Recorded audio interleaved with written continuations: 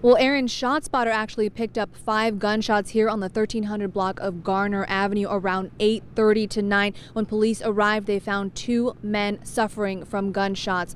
Now, it's very early in the investigation. CSI unit is on scene. The detectives arrived just a few minutes ago, and they do tell us that the two victims were pronounced dead at the scene. Uh, now, again, very early in the investigation, and police have few leads to go on, but they do have a vehicle description of a vehicle that fled from the scene.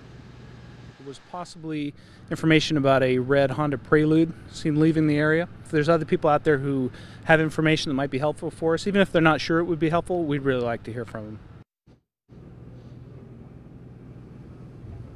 And again, that shooting happened here on the 1300 block of Garner Avenue near First. The the two blocks here are blocked off because the CSI unit is on scene investigating, and this will remain closed for the next several hours. And detectives are asking that if anyone has information to contact the Salinas Police Department and contact Detective Roman with any details related to the case. Aaron. All right, Bianca, thank you.